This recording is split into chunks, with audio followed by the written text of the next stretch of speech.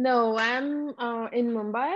Um, we are having this uh, women's IPL um, first week of November. So we are in a mandatory quarantine. Uh, I traveled from my base, that is Hyderabad in India, that's south of India.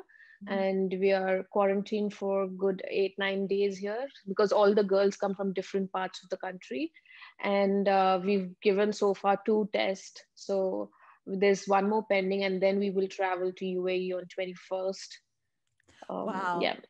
So um, actually, I'm in I'm in a hotel room. Are you just stuck in your room, or can you wander the yeah. hotel? Oh my god! No, no, no. It's a it, it's a quarantine, so I can't leave the room. All well, of us, like all of us, are confined to the hotel rooms. Oh my god! Talk about crazy times. Well, I shall keep you company yeah. for an hour, and let's have fun. Okay. All right. Three, two, one. When I was growing up here in the States, my dad and his friends would try to get the cricket matches on TV. I think they used to use pay per view or something like that. It was an event peppered with anticipation, snacks. I definitely remember stealing hot pakoras while they weren't looking, and a lively atmosphere. And as you know, oftentimes key cricket matches happen to fall on odd hours here in the US part of me accepted and probably resigned to the fact that cricket seemed to be a men's sport.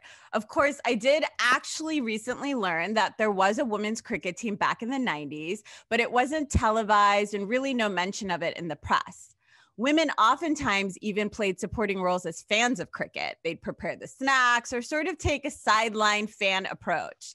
I didn't hear them rattling off statistics on players the way the men did. And looking back, I wonder if I chose to play tennis as a hobby instead of cricket because I actually saw female tennis players on TV and they were celebrated in the press way before even Serena Williams hit the scene.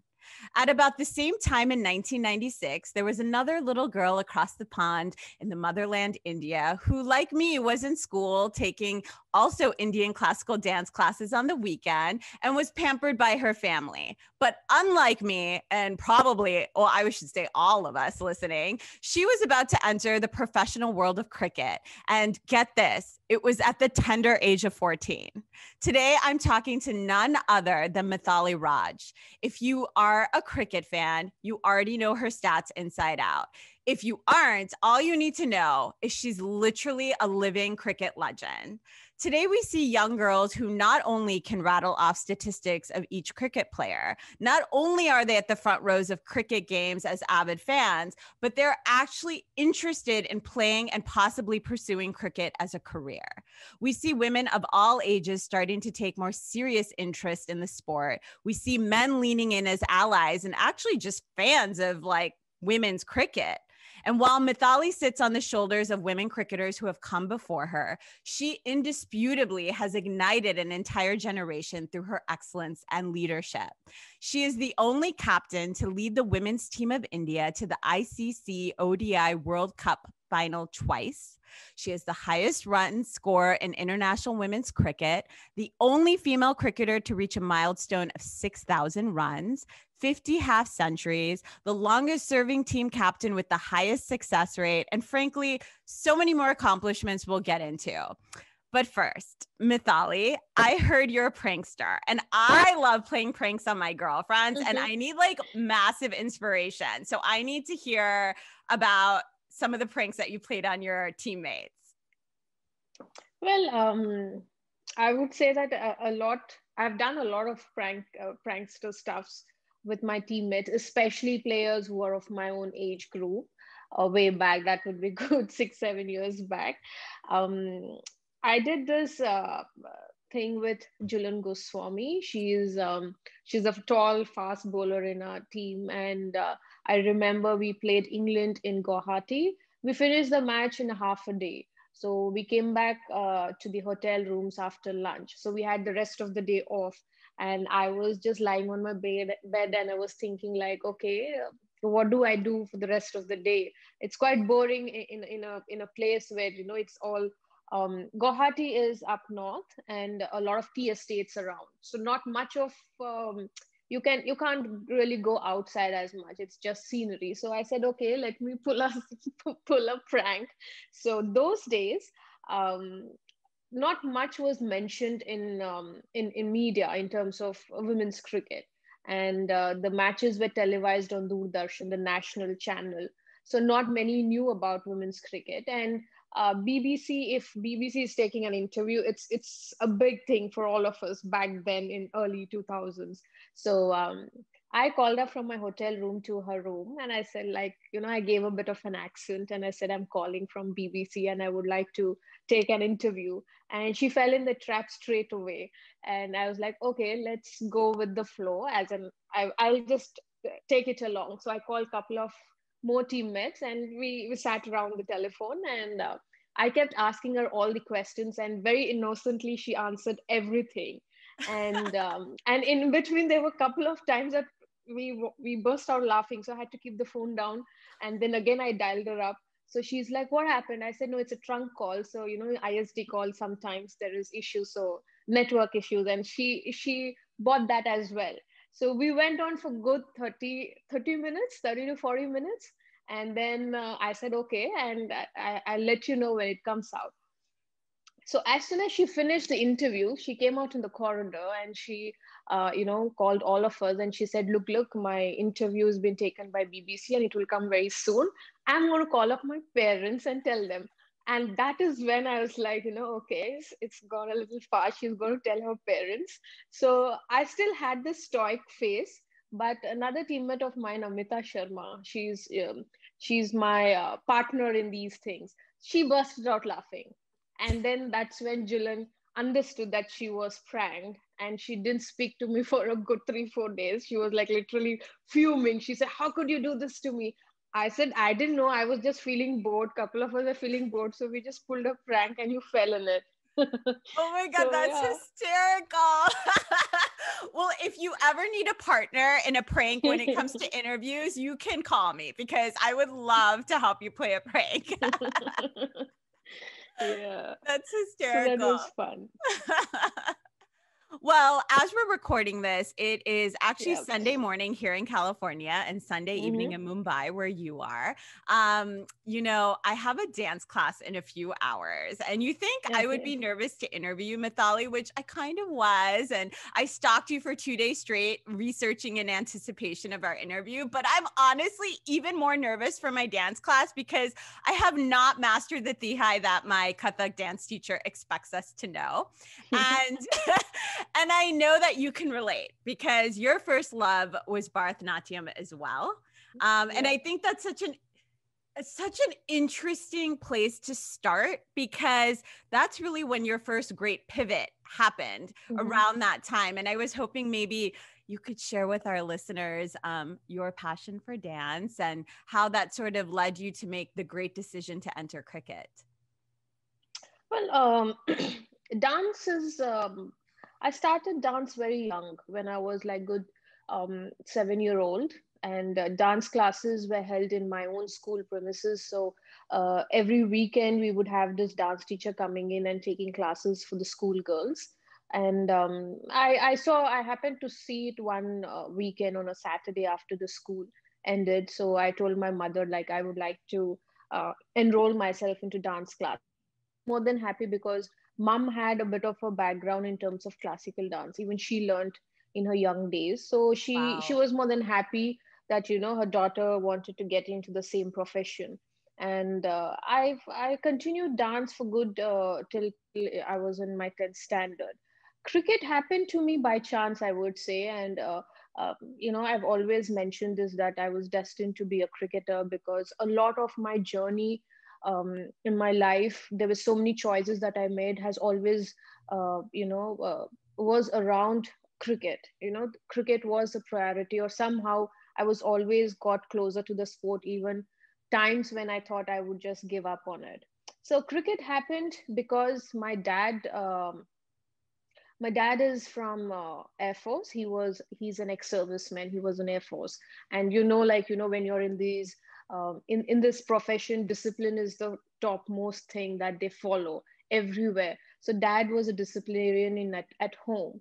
And everybody at home were early risers. My mother, my father, even my older brother, all of them get up early in the morning. And I would I would be the odd one out who would be like you know i love early morning sleeps and i hate getting up early and um, to inculcate this habit he said okay let's let uh, let her tag along uh, with with my brother i used to tag along in the mornings because he he was learning cricket back then in his school days. So i used to tag along with him to the camp and he used to go and play cricket and i would solve math problems or do my homework at the ground. So my dad would help me solve uh, problems. So um, that's how i was introduced to the sport. And um, if if given a choice or if you would have asked me at that point is is it something that i would want to be I, would i want to be a sports person i would have said no because i i was never keen or interested into uh, becoming a sports person. I was always interested in the cultural part of, of a country, like dance or paintings or all these things, but never into sports. So this happened to me. And um, um, as a young kid, I was, uh, my brother used to go to this academy, which was an exclusive boys' academy. Only boys you would see there. And I would be the only girl sitting and fetching them the balls, the tennis balls, whatever came along and um, I remember my brother's coach one day he said, Okay, this girl is coming every day. Let me feed her some balls. So he gave me two, three tennis balls and he said, Okay, just whack it. And uh, probably I um, um, did it well, I guess. He was quite impressed. And then he called my dad. He said, I think it will be better if you focus on your daughter, turning her into a cricketer than your son, because she shows a lot of promise and there seemed to be a lot of talent in her.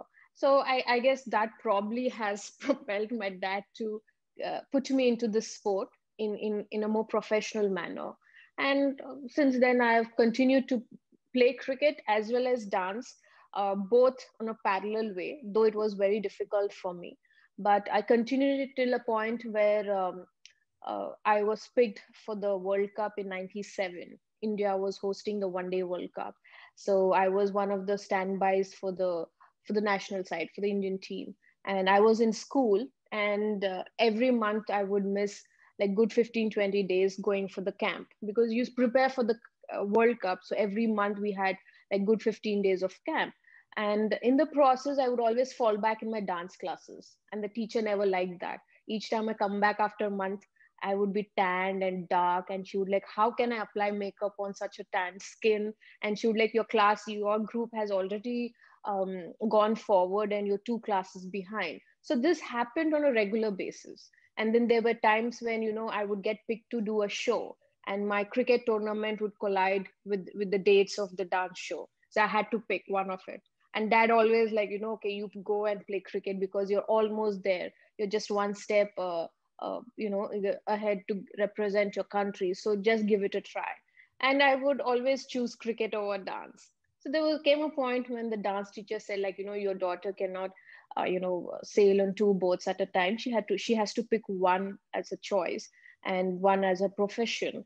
And um, dad being he he also played for services. So he he's a cricket enthusiast and everybody are in india. Any any person you ask everybody who want their children to be cricketers. So he said uh, you pick cricket. Whereas my mother never insisted that i pick dance but she gave she gave me a choice. She said you pick what you want to do and um, I, I think like as a young kid as a 14 year old when you're in school and you see your name splashed in newspaper and your t- and your schoolmates you know come and applaud and, and treat you like this um, you know like a superstar in the school you you enjoy that attention. So i thought okay if, if my name is coming and i'm doing well in this in this line let me continue to do it so that is one of the major choices or decisions i would say when i was at the crossroad to pick cricket and dance.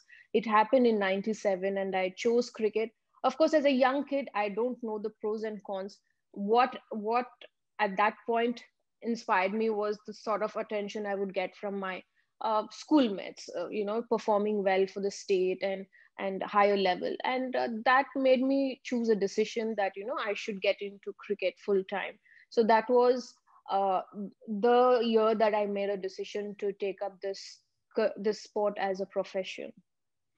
It's crazy because to me, your dad kind of sounds like the MVP here because in that moment I mean, it's rare. It's not like cricketers were making money, female cricketers, right? Like he's yep. telling you, and you're also making this choice because you used the word career. It wasn't like, oh, you were just really good at this hobby and you're going to pursue it till you go to college and maybe become a doctor or something. In your mind, it sounds like that was going to be a career option. And um, I think uh, what you said is right. In, in fact, in back in those days, not a penny that we earned playing cricket. It was purely on the basis of passion that all the girls, all the women who played in the 80s and 90s, it was purely out of their passion that they wanted to play the sport and were so truthful to it. There was absolutely no, um, what do I say? I, there was no professionalism in terms of monetary benefits that one can get out of playing this sport back then.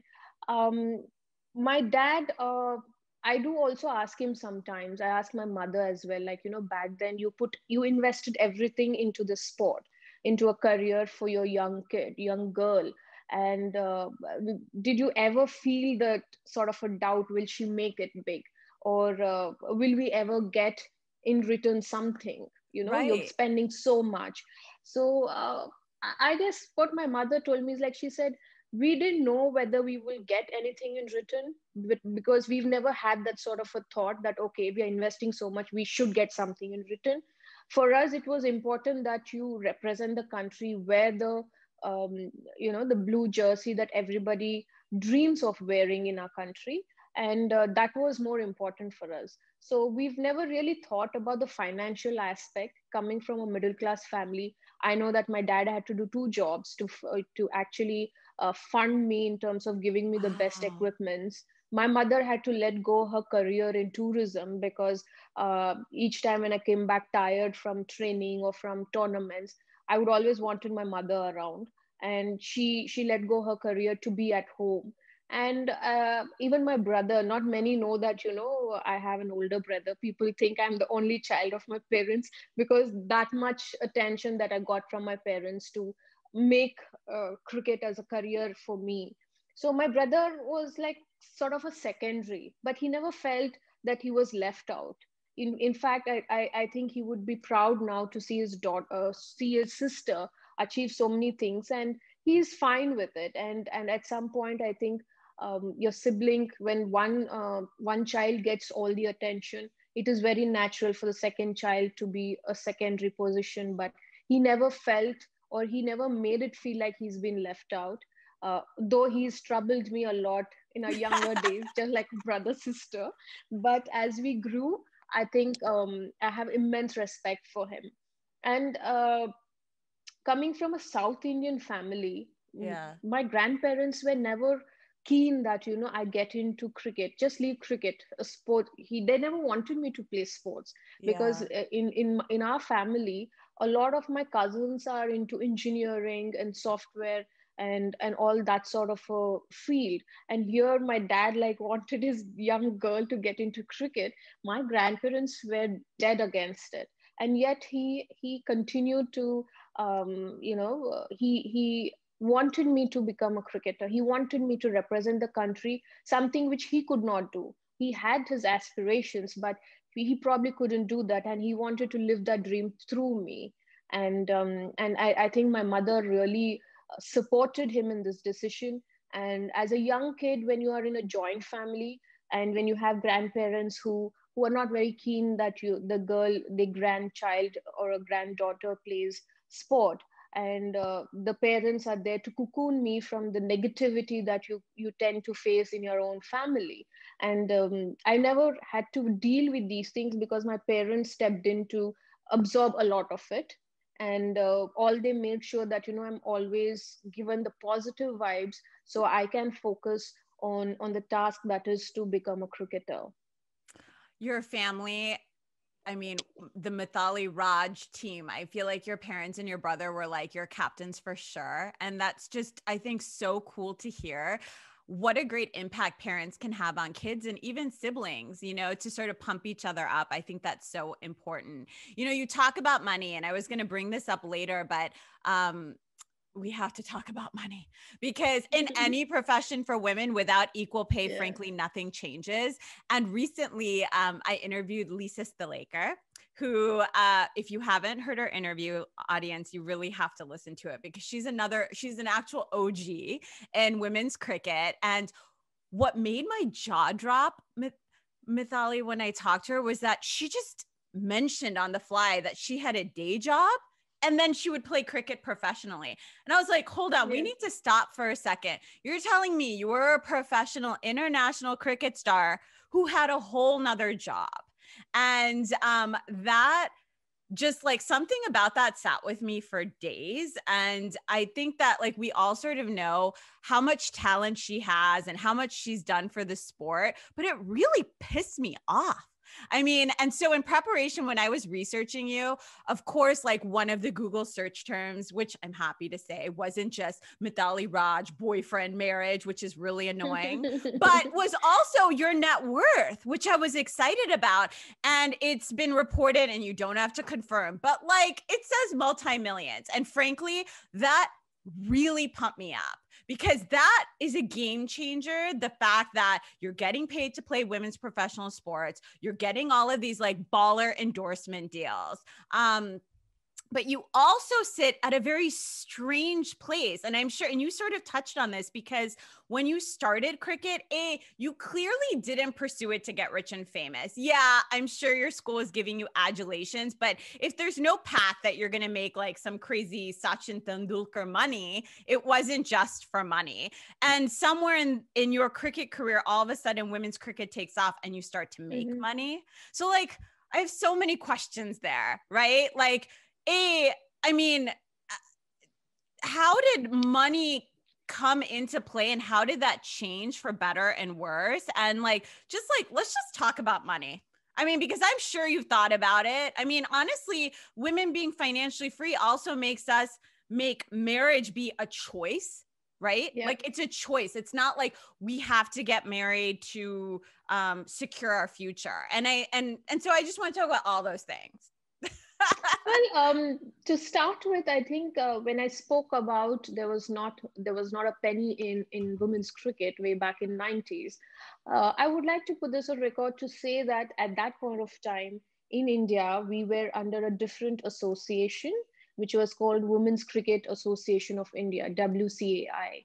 So that association was running women's cricket in India, and the association was not financially very sound enough to organize series or uh, give us the best facilities. But it, it was somehow uh, uh, with sort of running around for funds and sponsors, we would get some tournaments or some series in a year. And Lisa might be talking to you about, or she probably would have spoken about during those days as well, because she is from that uh, that generation player. Right. And um, talking in today, today's time, we are now under BCCI, Board of Control for Cricket in India, the richest board in the world, and uh, you know, very fortunate to be playing and representing BCCI because we've come under BCCI's umbrella in 2006 and seven. So I think it it changed a lot for women's cricket in India because then we've become professional cricketers in in real terms. We didn't have to run about for sponsors to fund our uh, international series. And uh, from 2015, I think we are contracted players, just like the men. We have gradings, and um, we probably don't earn as much as them, but at least I think we are somewhere there because I think there has to be some start. And uh, the girls now are contracted player. As a contracted player, you have so many benefits. Like you know, you you earn playing for your country. There is match fees there is um, uh, daily allowance. You travel uh, business class and you're put up in good hotels. You're given good um, grounds to play on like stadiums literally. Because um, i remember when i was when i just started playing i've played in parks you know. Literally there is no there's no wicket as such. So from there to see women's cricket evolve and transition into today's time where women's cricket is a brand in India. Each and every player have their own profile. They themselves are a brand. And that all happened is because coming under BCCI has changed a lot for women's cricket in India, where young girls now have a pathway where we have a good organized domestic structure. Playing domestic itself, you can earn because we have match fees even in domestic structure.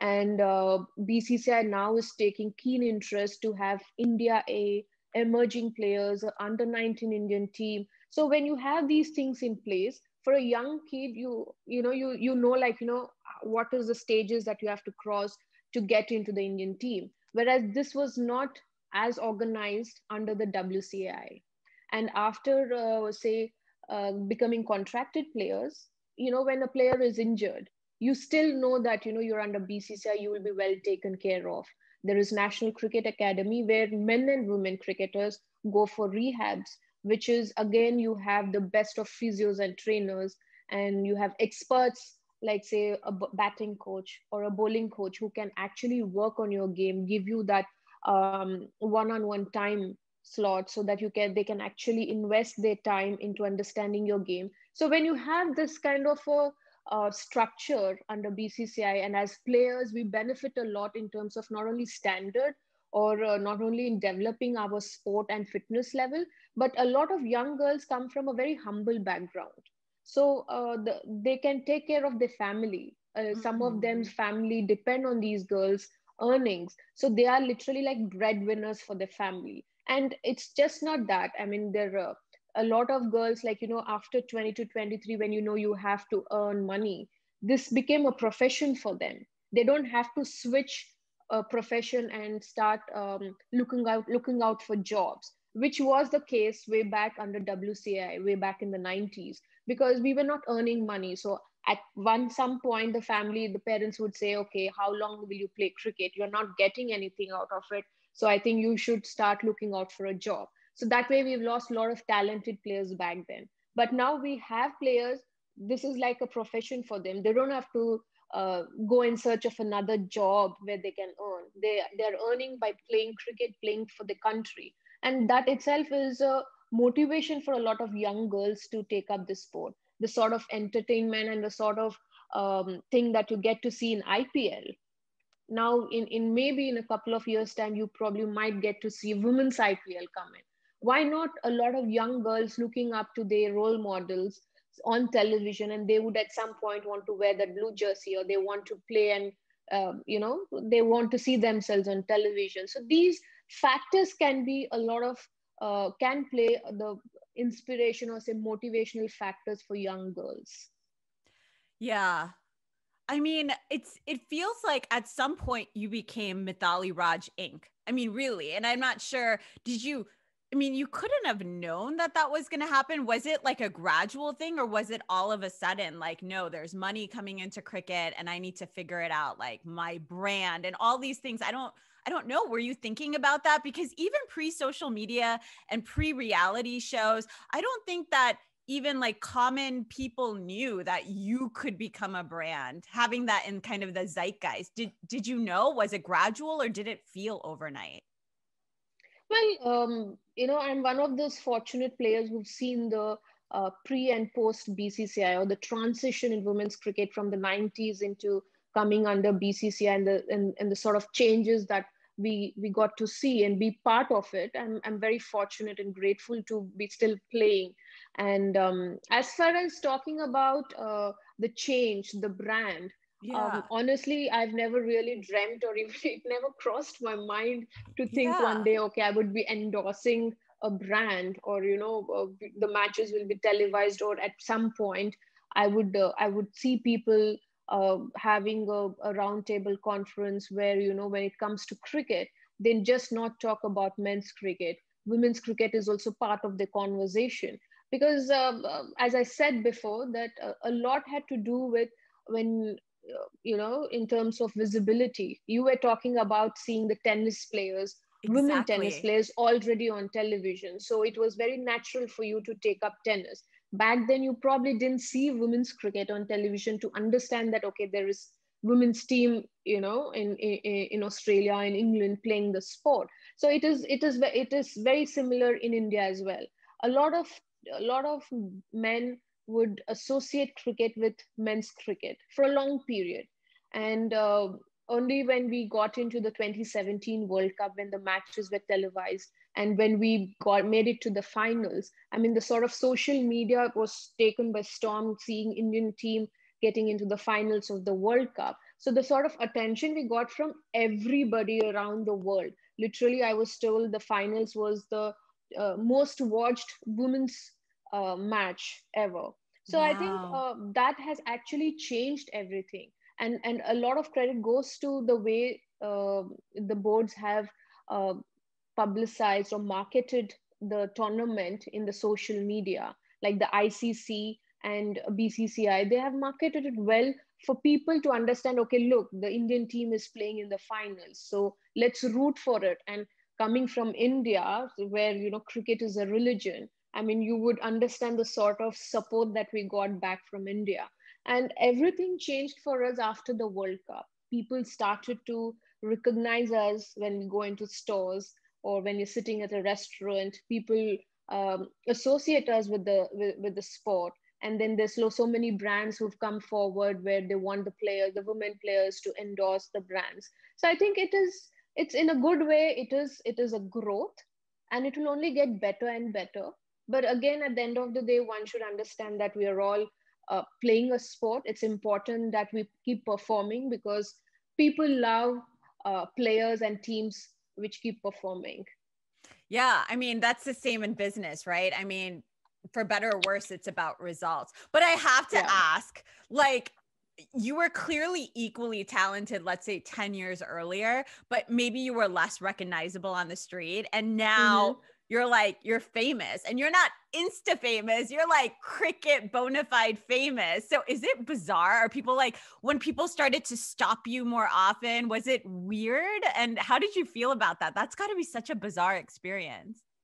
Well, initially I was um, I'm an introvert, so I would feel really shy and uh, and you know I wouldn't know how to react. There are times yeah. when you know I would like okay, uh, there's so many people coming in, I wouldn't know what to do. But yeah. I I guess like you know uh, you need to accept and change with times. They say you know so I started to accept the fact that okay the dig- digital platform is in thing now that's the thing and uh, people recognize you, accept it. It should be part of your life. So it took me a while, definitely yes, because as I said, I'm I'm one of those players from the past generation. So uh, for me to understand and accept the accept social media, it took a while. But um, I think now it is important that we understand that it is it is a way of interacting with your fans getting closer to your fans and and at some level even promoting the sport. Because what is happening anywhere else in the world you're able to see those matches on social media maybe the clippings and what is happening around the globe. So uh, information is in, in in you know in split seconds you are able to uh, you know get it so I, I, I guess it's important that one utilizes in in the best possible way and not be controlled by it mm-hmm. that is mm-hmm. very important so important. i mean you yeah you shouldn't be controlled and and a lot of them say trolls and everything but i guess it comes it's it's a whole package there are people genuine fan followers that i have uh, who who are very appreciative but at the same time you'll also have people who would would not like uh, anything of yours. So you can't really delete anything but accept it both as part of it you know, a lot of people like here in the US, like you hear all the time about NFL players, like football players here, mm-hmm. like they go, they get all this money and they go bankrupt and like, you know, all this stuff. And so, but you're so grounded and it did happen sudden without any plan, without any role model mm-hmm. really in women's cricket for how to handle fame, money, all this sort of stuff. So what's the foundation that you sort of fell back on? Was it your family or like was there somebody else in your life that kind of helped you navigate that time? I um I have a very uh, small unit of people in my in my personal life.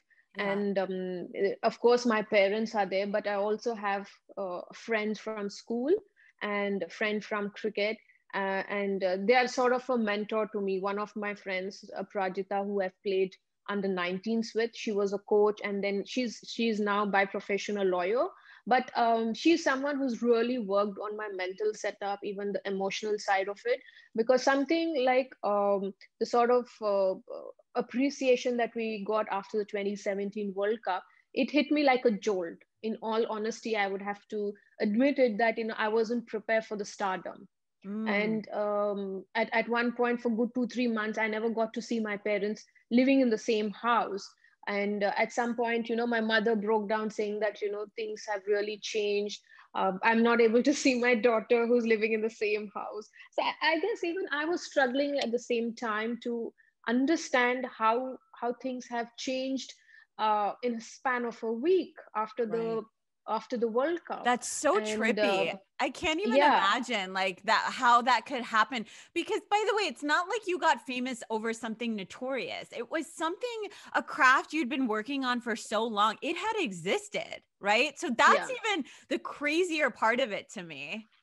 So it's for say for for uh, players who are the current generation who's already with the social media.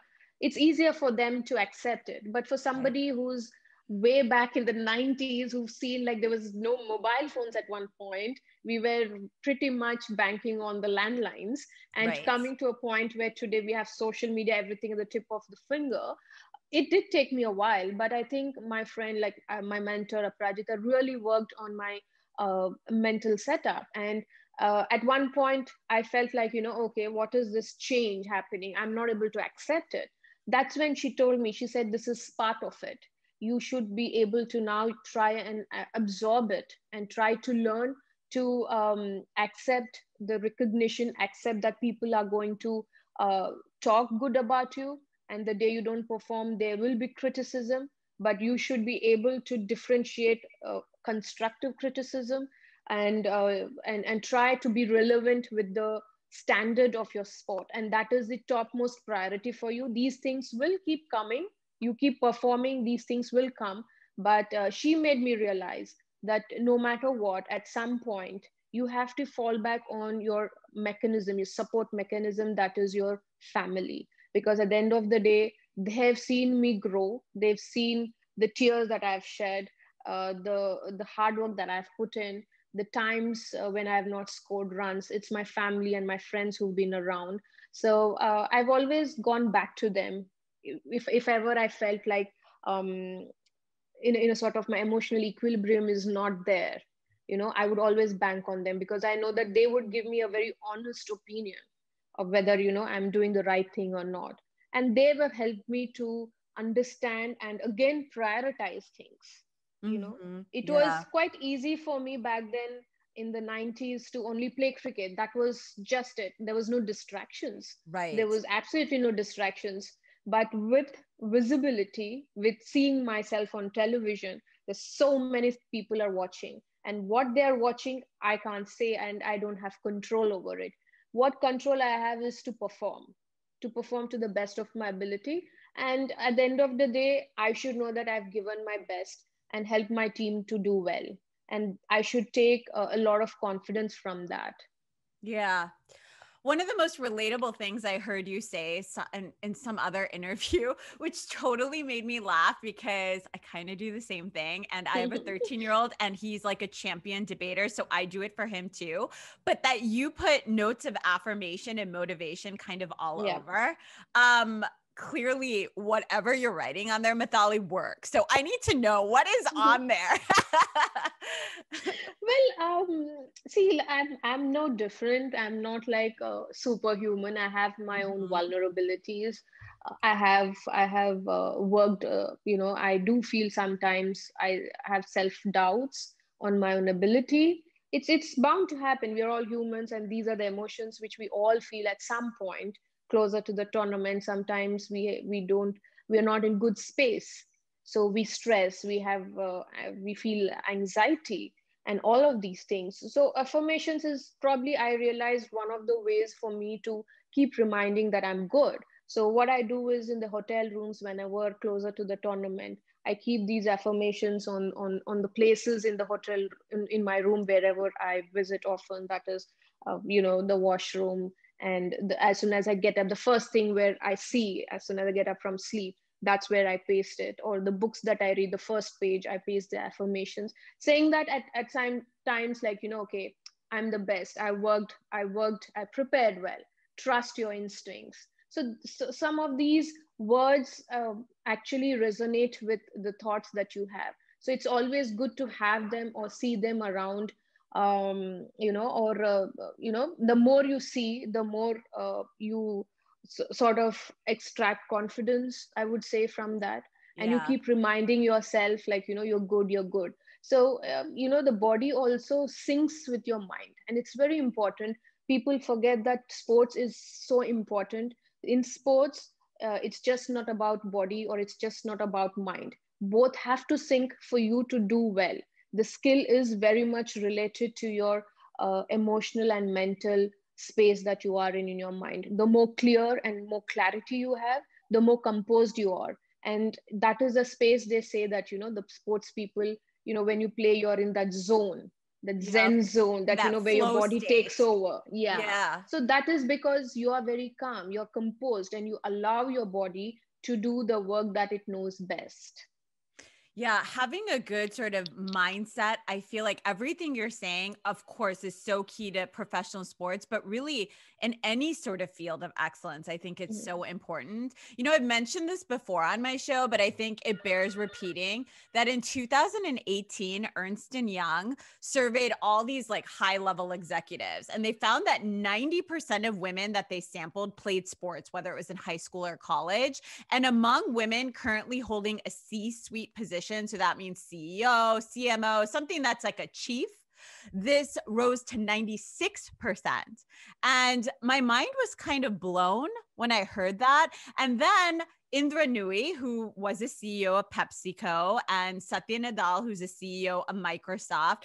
I also heard that they both played cricket in college and they both talk about openly all the time at business conferences about how the lessons they learned playing cricket is what really served them off the field when they were building their companies and taking on leadership roles. And so I feel like Mithali, from you, we could get like the biggest masterclass in leadership um, because something I really was so relating to you about. So I'll take you back for a second. I first became a boss, I was 23, and I was really good at my job. So I was really pumped mm-hmm. that I was going to be able to like manage people, right? The ego at 23 as well. But I realized pretty quickly that being really good at my job function didn't make me necessarily a good leader or managing people that were older than me or even anyone who is my peer.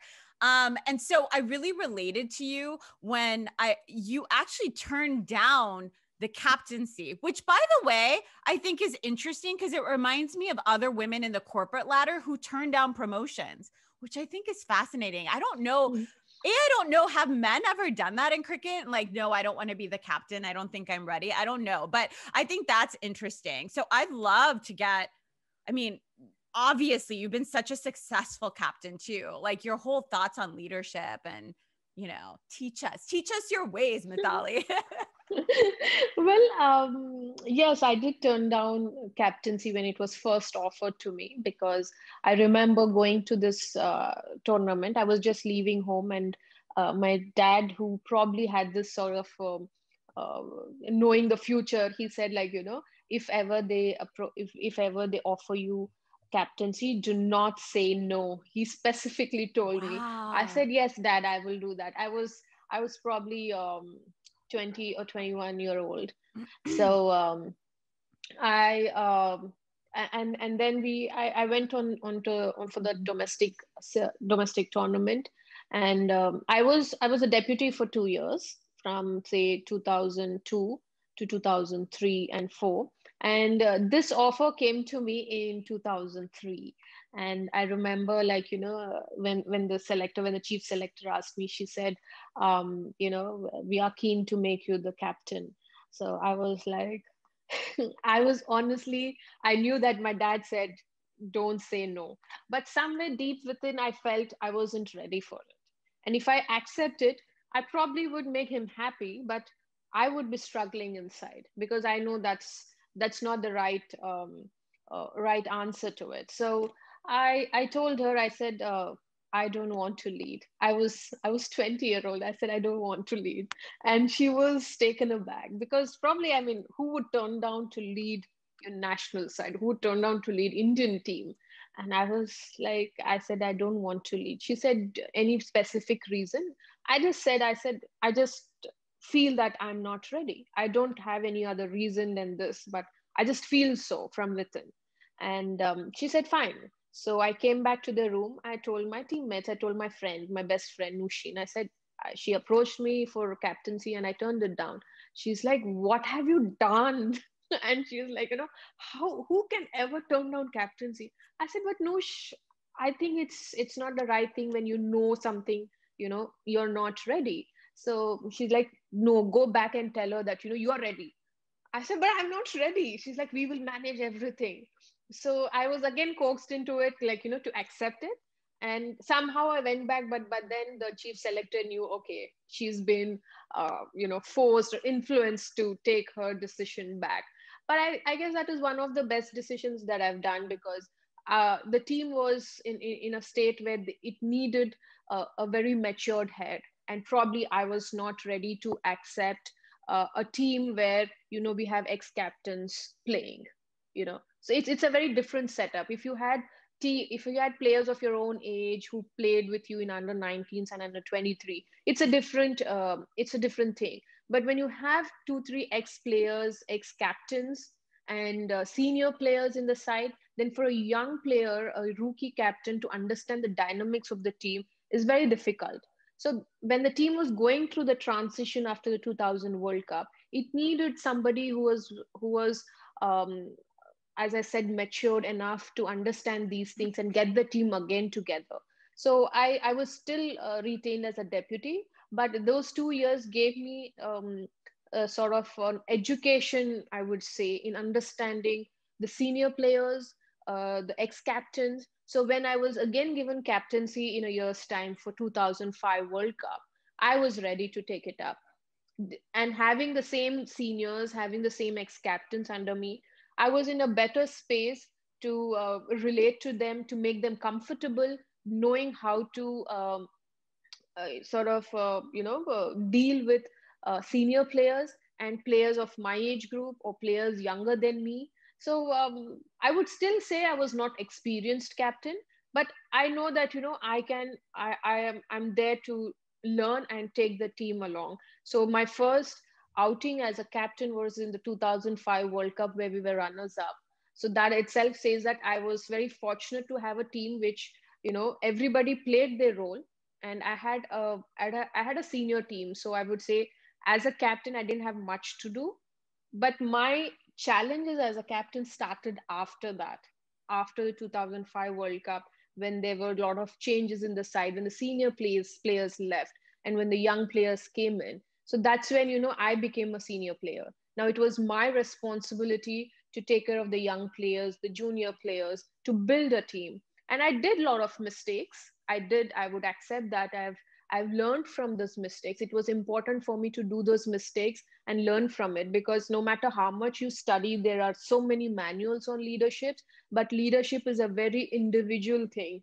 Every person who's given the responsibility of leading a group of, uh, you know, uh, players or people, I think they come up with their own setup and everybody are unique in their own qualities. So as a leader, um, it was even my uh, journey, I would say. I've learned a lot. I was uh, for good two three years I, w- I was sacked in 2007 as, as a captain. I came back in 2013 so those three years it made me understand why um, or where i went wrong. The initial periods of my captaincy when i was young i gave a lot of time to other things. Like um, you know lot what people are saying about my captaincy okay okay i i would take suggestions from everybody. And everybody have everything to do about things. Everyone have their own views and everything. And i started to give them more time more energy to those things. When i again came back in 2013 as a captain i understood that there are only few things that i would like to give my energy to. And that and the foremost thing is to build a team to build a team for the 2017 world cup those four years are important for me to uh, get the player, identify players who are who can be a match winners, uh, players who uh, with a little bit of confidence can actually be turn things around for the team. Identify these players and get them to be a cohesive unit and give them that confidence because I mean when everything goes well, I mean everybody are happy. But when things go wrong, that's when my leadership comes forefront that's when it is important that i keep the team together. Make the players understand they are equally important. I'm i i might be the captain but uh, i am just as good as my team. If if my team is not doing well and you know i still think that okay i'm the boss it makes no sense to me. It's important for me to make them realize they are equally important and at the same time give them space to grow. That is also important. A lot of time what we do is like as a captain the initial phases i would say okay just follow this because i am saying it because i'm the captain. That was my setup when i just got the captaincy. But later on when i was sagged and when i was again brought back i understood that okay it doesn't work like that. Every player has a different way of dealing with things. And um, because indian team a lot many players come from different backgrounds. Some come from cities some come from districts interior parts of our country a lot of them are not exposed to, to a lot many things at the international level. So as a captain then it's important for me to understand that. I cannot have one way for everybody. There are different ways of dealing with different players. So uh, a lot have learned uh, in terms of my leadership. I'm still learning. It's still something that you can always learn. And um, I, I, guess the most important thing that i have learned personally is compassion um, to understand and give space to my players. Sometimes everybody have those moments on on on on the ground when we are because everybody are passionate about the sport. So there is emotion in it. Sometimes emotions just run out you know. Then you how do you handle that on the field? Some some players are aggressive some players they don't express much but they still feel the anxiety so as a captain if i can understand those things i'll be able to use my resources much better. And that is something you learn on the job. You learn being with the players and spend more time with them to understand them off the field. Because a lot what you do in your day-to-day life the way you deal with things on a day-to-day basis is what you carry on the field. We can't have twin personalities. We are what we are and that's what we carry on to our game field and for me a lot of my homework goes on understanding the players of the field how they train in the training sessions.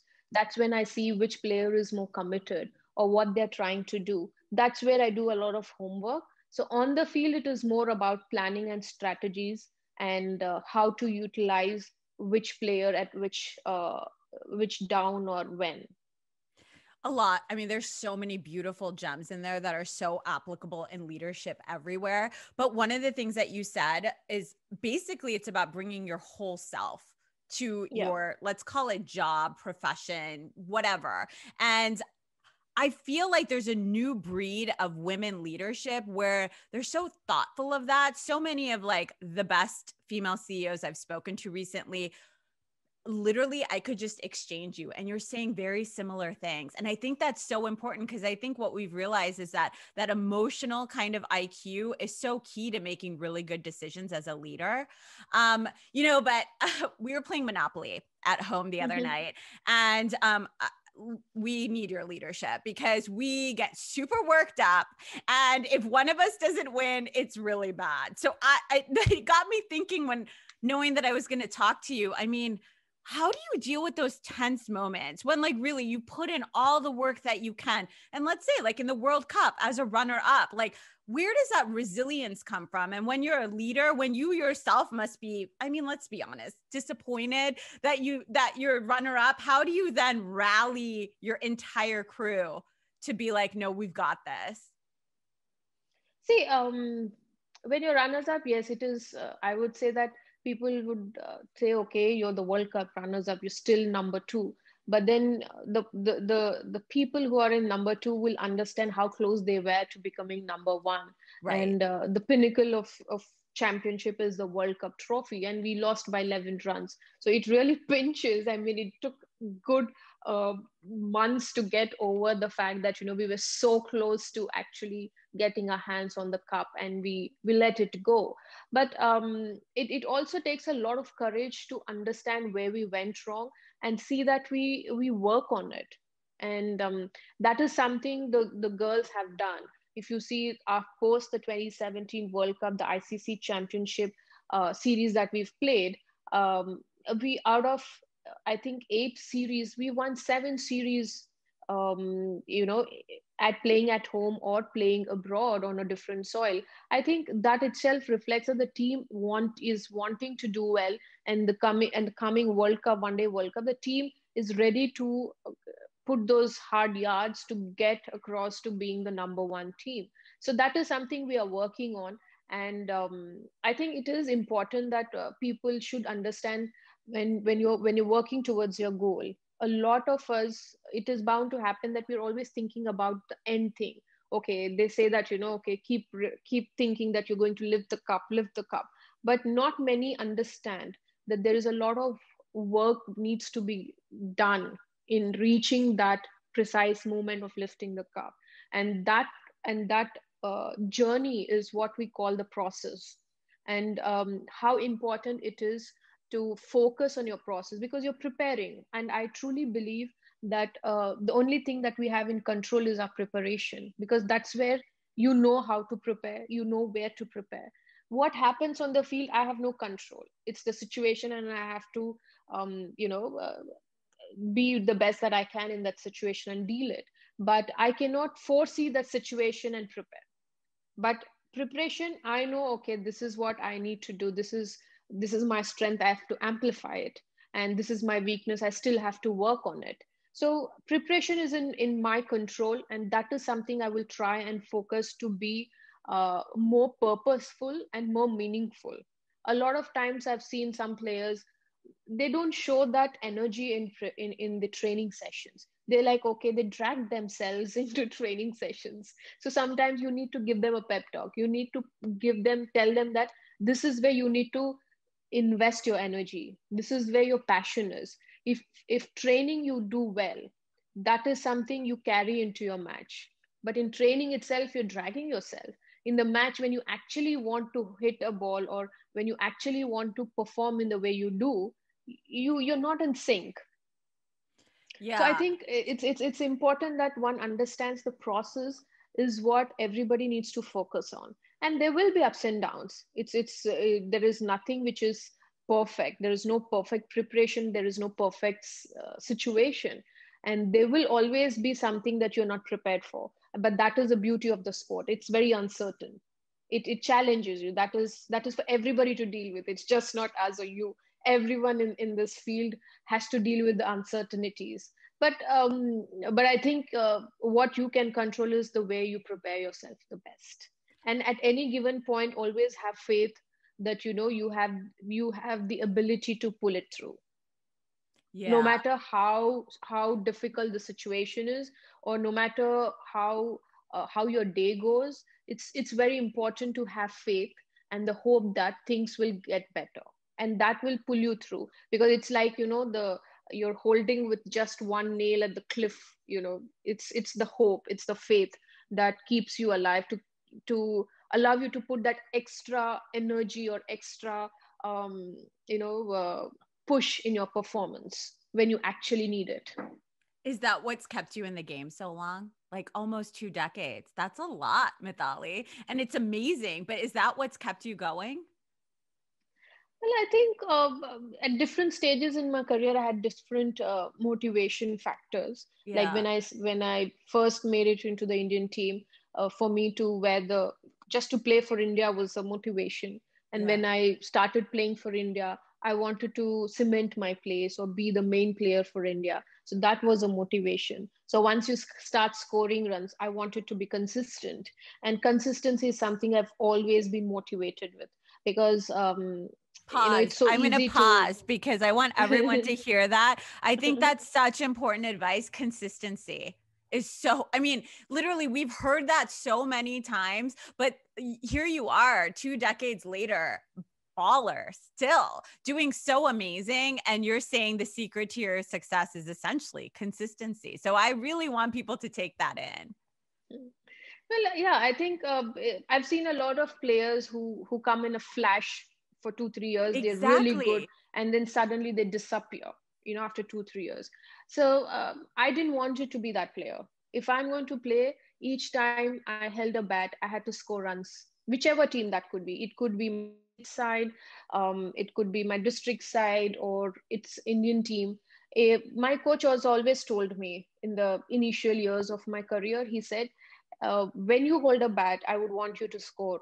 I would want you to score a 50.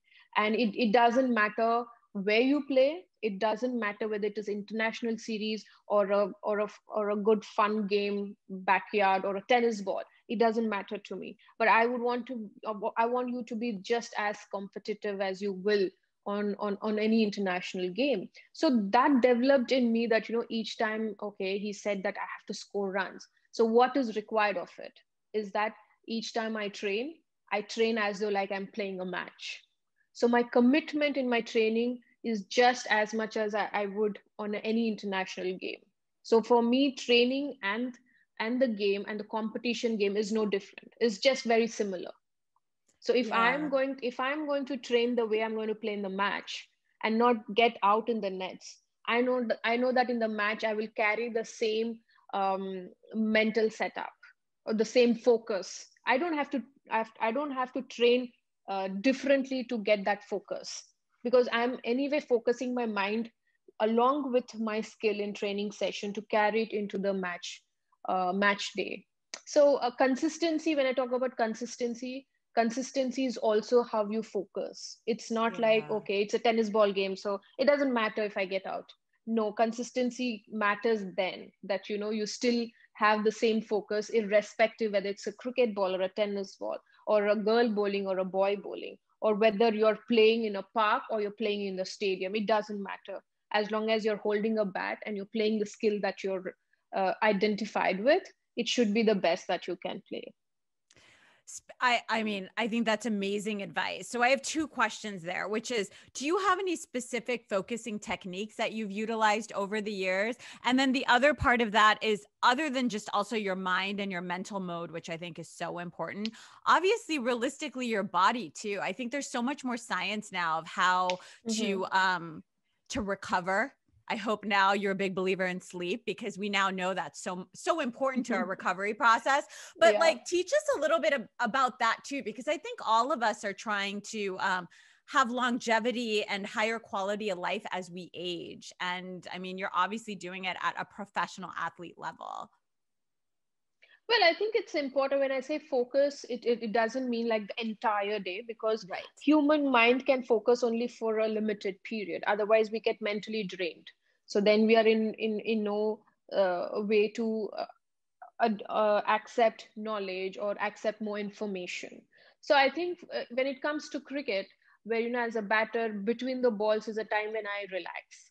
And when the when the bowler starts again for those few um, say just two minutes or a, or a few seconds, I am in intense focus. So uh, that is something that you again work. It's a very individual thing. But uh, when I'm training, I only focus on training. So there is a way they say that compartmentalize your mind. Right. When and when I talk about purpose and meaningful training, it means that that when I'm training, I'm only thinking about training. I don't think about okay, I have an interview set up or i have to go to my aunt's place or i have to do this chore. So i don't think in those things because then you're you're actually um, releasing or leaking energy into other things. And then you're not able to get your mind back to focus. And that usually what happens in the game is that when you're tired uh, you're you you're you you struggle to focus. And that's mm-hmm. when you know you let go and you get out or you misjudge something you misjudge a situation.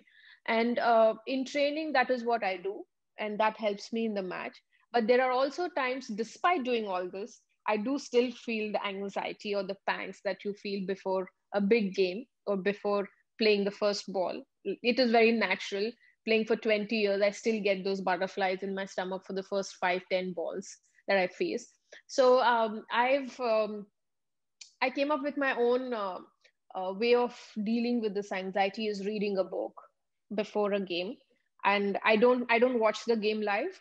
I'm, I'm in the dressing room. I, I i'm ready to go into bat but i pick up a book and read so that i divert my mind not onto the match which is which is going on. Of course i'm aware of the situation but um, i'm shifting my focus in a way that when i get my opportunity to bat i'm fresh. I don't go with a uh, preconceived notion okay the bowler is bowling like 150 kilometers too fast. Or we've lost two wickets. We are under pressure so these thoughts should not be going into my mind when i'm walking into bat when i walk into bat when the walk is from the boundary to the wicket i need to compose myself. I need to again um, revisit those affirmations that i write on, on on the on the hotel room that you know i'm good i'm best irrespective of the situation i can deal with it. So if i have to be in that situation i i can't be going in with a preconceived notion okay this is a situation what will happen? I can't question my ability. And that is why what i do is when when you're reading a book your mind is elsewhere. Mm-hmm. but when mm-hmm. i when i walk into bat i know my mind is uh, free of all the uh, prejudices they would say when you're actually watching the game.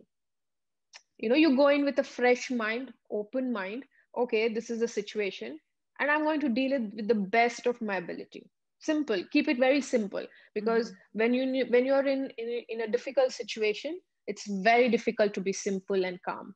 But that is something you need to work on. And it the easiest way is to break down things and keep and remind your body and your mind simple things that you know okay i'm good enough. I've done my job. I've done my preparation. I've done my training. I've done the hard work. And i i have um, confidence that uh, you know i'll pull off. I'll pull i'll pull through this situation so when you keep talking like this you know your body responds that much better yeah there's lots of science to that we've had uh by the time your episode airs, we'll have had Dr. Tara Swart. She's a neuroscientist and um, mm-hmm. it's really interesting. She talks a lot about, she actually gives the science behind exactly what you're saying. So you're definitely onto something.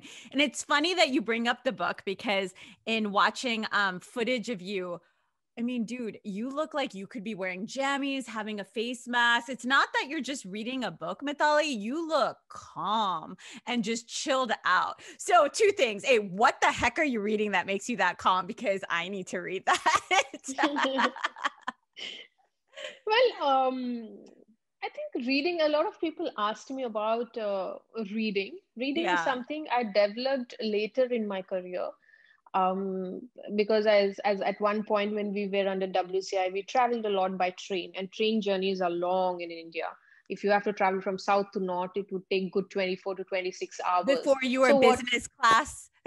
yeah, before we got into business class.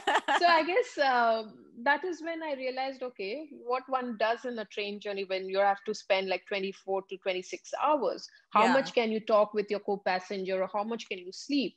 So yeah. I decided to pick books and I started to read, and that's how I developed the habit of reading. And when you pick some interesting books, you continue to read, and you don't even know that you know there you you spend a lot many hours in that. And um, I remember there's a few games which I played for my state side, and I I go at number three, one down batter. So the openers used to play good 20 overs as I would be ready and waiting for my turn, and it would take hours. So I was like, okay, the best thing to do is pick up a book and read and wait for my turn to come. And that's how I um, started to read. And I started with crime. I started mm. with hmm. Sidney Sheldon because that is something everybody can relate at some point and enjoy reading.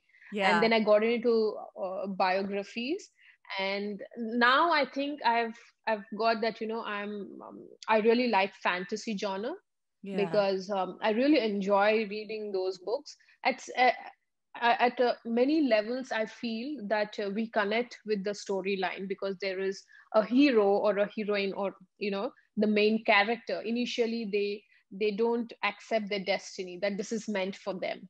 They always like you know rebel and they don't want to do it but at some point they're attracted to the destiny and and things work for them. But at the same time they are not the only ones who are um, uh, at the end of course they are they are the ones who are the heroes but they always have a support system. There's always a friend or an uncle or somebody who's always helping them when in the most difficult times.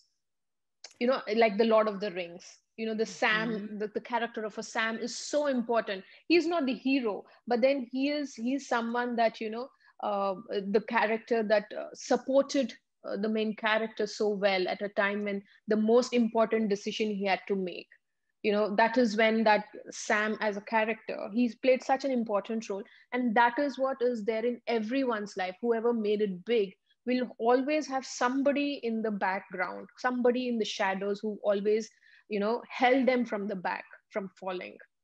So uh, nobody achieves anything alone in this world. It's it's it's uh, i don't believe in that concept. We are we always are dependent on others and we will always be dependent on others the stories that you're reading sound pretty familiar to us. now I know where you're getting your blueprint.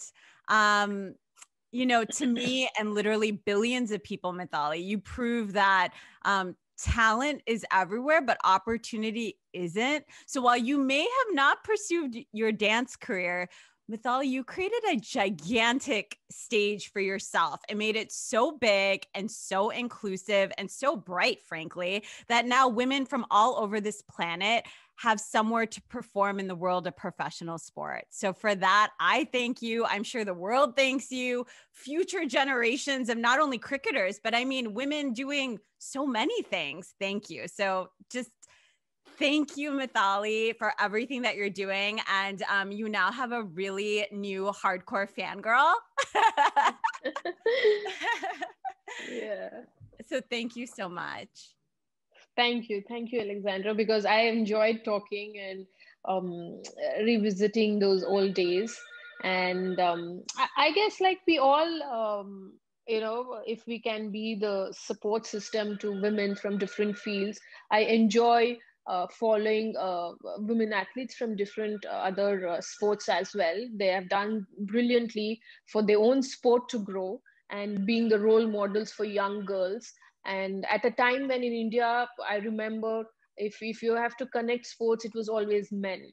Yeah. And today, you have so many women athletes as role models in different like badminton, tennis, cricket so it's it's good to see and um, and, people are also accepting women as athletes. You know that is that is the most important change that i've seen. Um, and young girls today i see a lot of young videos being posted in social media where the young girls are good like five six year olds are holding the bat and playing. So i think it's it's good to see such young kids who now are coming out of the shadows to actually voice that you know they are passionate about sport. They are passionate about a sport like cricket and they would want to um, play play the sport because uh, they, they like it. Simple. And they have a roadmap. They have a pathway now under bcci and i think uh, that is great for the sport. And it will only get better i would say in the coming years with women's ipl in a couple of years time with the under 19 world cup. I think this sport is growing.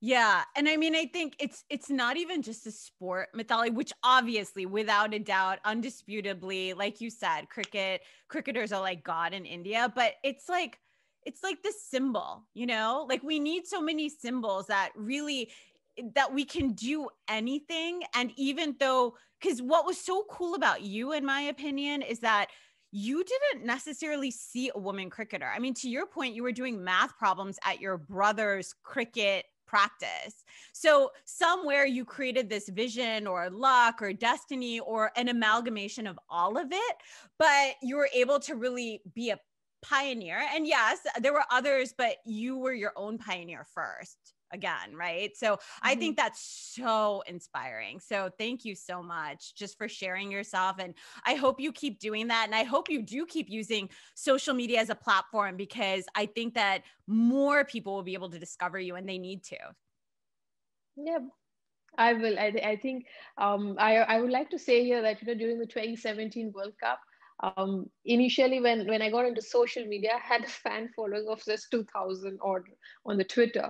And i was like okay this is a new thing. And i was still not hooked to it. And i didn't yeah. know how to uh, sort of operate it.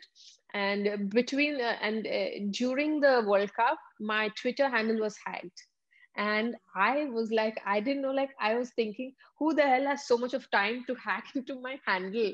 And that's when one of my teammates said welcome to stardom because now you're famous. That's why people are spending time to hack your twitter account.